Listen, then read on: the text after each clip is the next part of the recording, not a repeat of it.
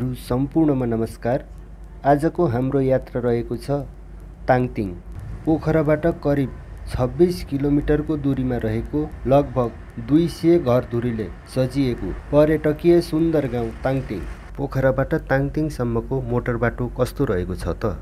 साथै अन्य सम्पूर्ण जानकारी म तपाईँहरूलाई दिनेछु। भिडियो अन्तिमसम्म हेरिदिनुहोला धन्यवाद। पोखरा महेन्द्र पुलबाट भित्र छिरेर काउँ खोला हुँदै विजयपुर खोलाको पुल तरेर हामी अगाडि बढ्नेछौँ र विजयपुर खोलाको पुल तरिसकेपछि दायाँतर्फ माथि जाने सुन्दर बाटो रहेको छ। उक्त बाटो हुँदै हामी माथि उक्लिनेछौँ।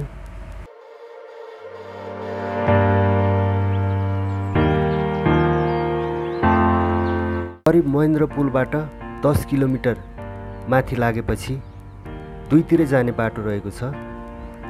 सिधा गयो भने सिक्लेस पुग्न सकिन्छ भने दाहिनेतर्फ लागियो भने ताङतिङ जान सकिन्छ। यहाँबाट ताङतिङ गाउँसम्म नै अफरोड कच्ची बाटो रहेको छ। बाटो थोरै ढलान भएको रहेछ। यही पनि यो बर्खाको समय भएर होला। एकातर्फको लेन पुरै भाँसिएर तल खसेको रहेछ।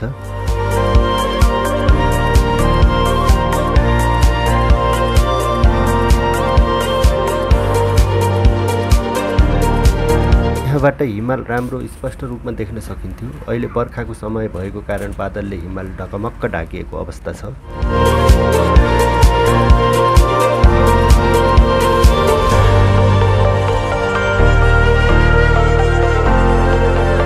र हामी सुन्दर गाउँहरूको अवलोकन गर्दै ताङतिङतर्फ लाग्नेछौँ।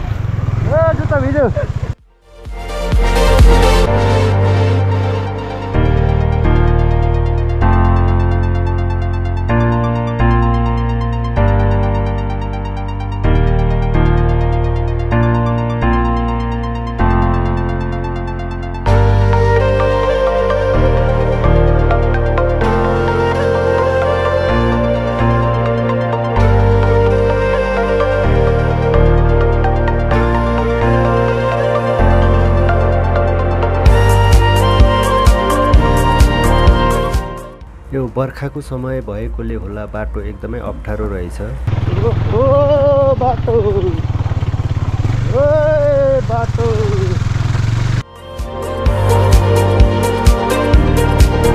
यहाँ केराबारी पनि हामीले भेट्यौँ यो जुन देखिएको गाउँ ताङतिङ जाने बाटोबाट माथि नै पर्छ। बाटोबाट यो गाउँ देखिँदैन। मैले गुगल म्यापबाट देखेको थिएँ र ड्रोनबाट यो गाउँको भिडियो बनाएको हो।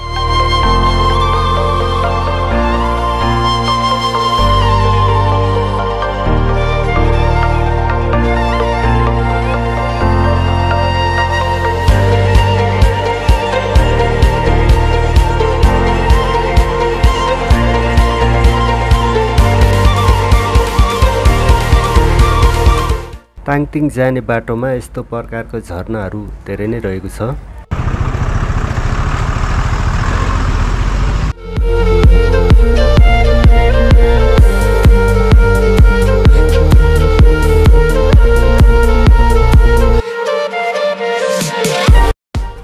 अहिले हामी चाहिँ यो मादी चाइनिज हाइड्रो पावर सायद यो चाइनाले बनाउँदै गरेको हुनसक्छ। यहाँ आइपुगेका छौँ। you.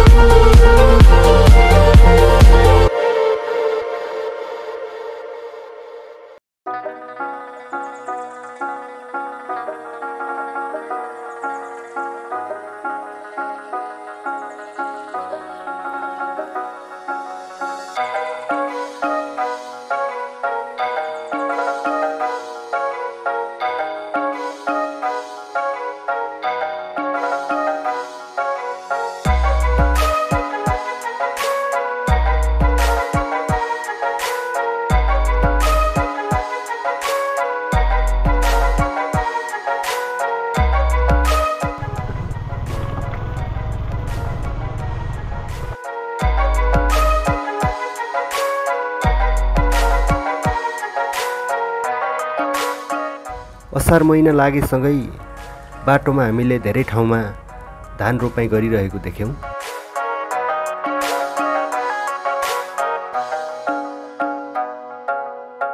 यो गाउँको नाम थाहा नभए तापनि हामीले ताङतिङ जाने बाटोमा पर्ने सबै गाउँको भिडियो समेटेका छौँ।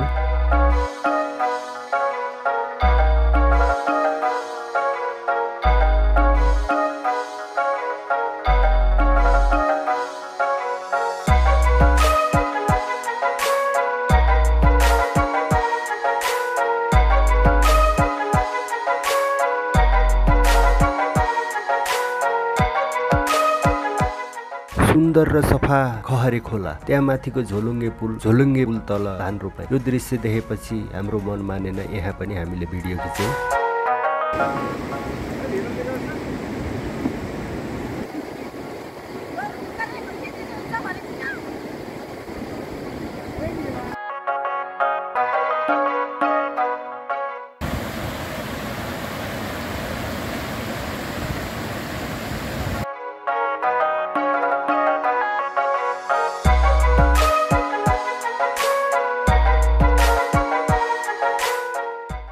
बाटो एकदमै अप्ठ्यारो रहेको छ। हामी अगाडि बढिरहेका हामी झन्डै झन्डै ताङतिङ गाउँ आउन लागिसकेका छौँ र बाटो एकदमै उकालो रहेछ यहाँ। पर्खा लागेसँगै ताङतिङका बासिन्दाहरू हलो र जुवा काँधमा बोकेर तल बेसीतिर झर्दै हुनुहुँदो रहेछ।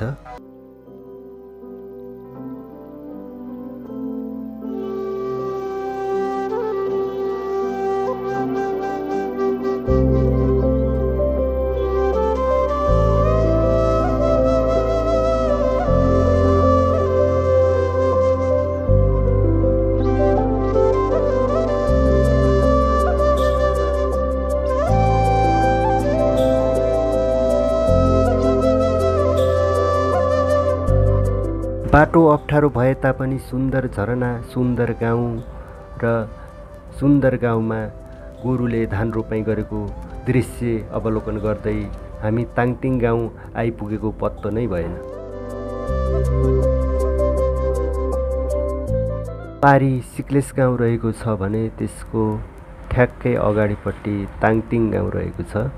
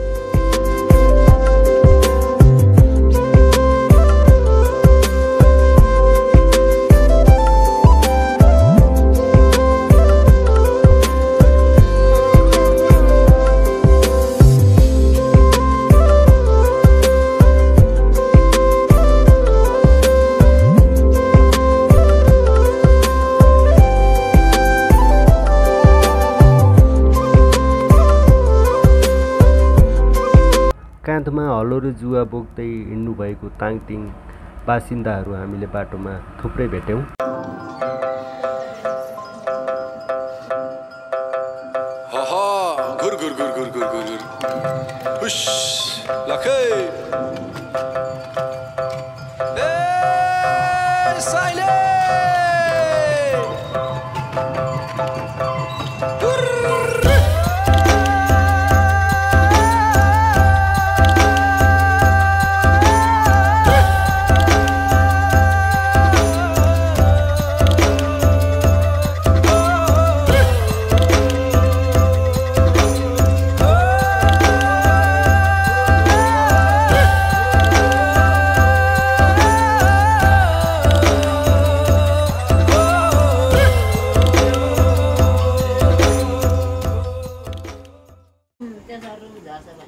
क्यामेरामा क्यामेरामा हेर्नुहोस्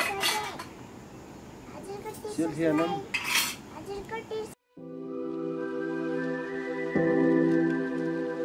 र यो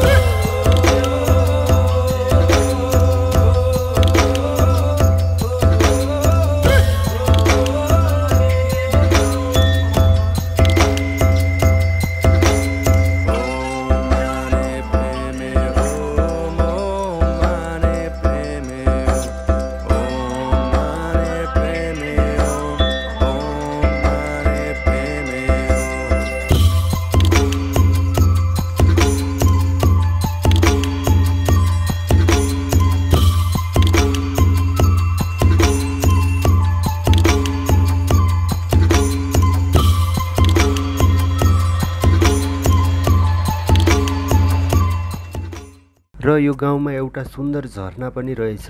हामी झरना अवलोकन गर्न भनी झरनातर्फ अगाडि बढ्यौँ। उक्त झरना जानको लागि जुन ताङतिङ छिर्ने मुख्य गेट रहेको छ त्यसको अपोजिट साइडमा। एरोले देखाएको देख्न सक्नुहुन्छ। यो साइडबाट तल लगभग दस मिनट जतिको बाटो तल झरेर झरनासम्म पुग्न सकिने रहेछ।